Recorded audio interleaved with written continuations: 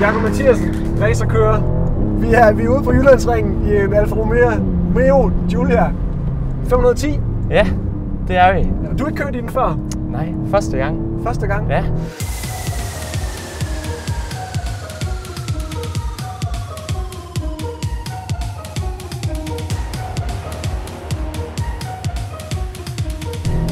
Hvad, hvad siger du lige umiddelbart? Åh, åh. Jamen altså, nu er vi jo på, på en våd Jyllandsring her, øh, med ikke ret meget greb. Øh, og vi har jo virkelig en potent bil her med, med baghjulstræk. Jeg har jo aldrig prøvet at køre på sådan en bane før. Nej, Aldrig. Jeg har ikke engang været på Jyllandsringen. Sådan. Så du har, du har jo altså både en newbie og en kylling, og jeg ved ikke hvad, med ud at køre. Vi ser hvordan det går. Ja.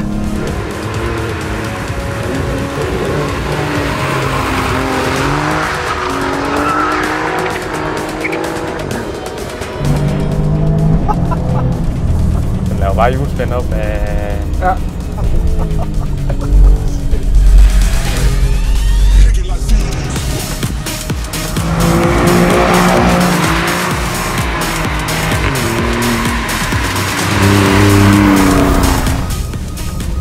Det er jo ret impo- imponerende, hvad den her bil den, øh, den, øh, den kan. Øh, især med de her keramiske bremser. Det er jo helt ekstremt så godt, den, øh, den bremser. Så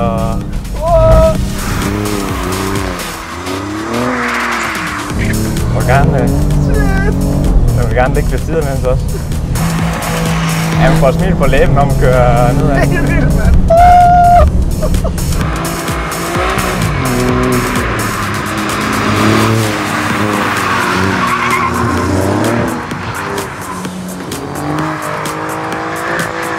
Det er virkelig...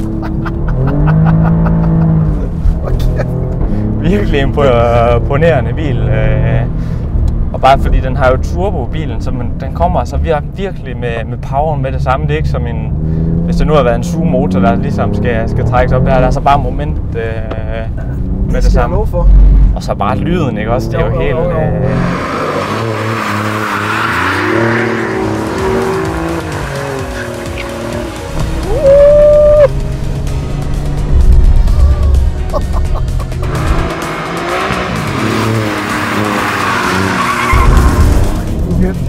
Jeg skulle sætte have haft mine underbukser med.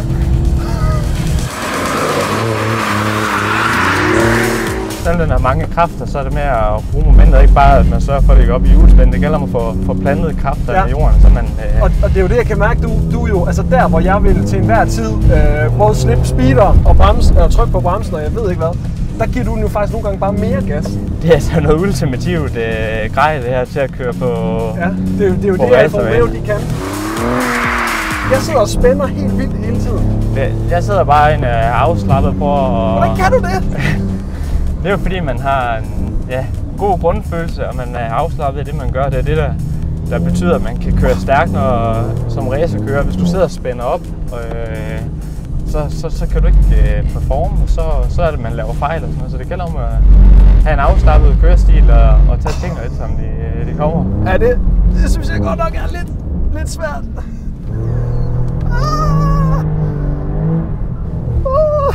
Vil også gerne lægge side. Det skal jeg love for.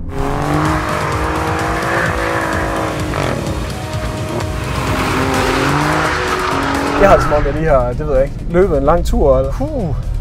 Jeg tror lige, jeg skal på toilet.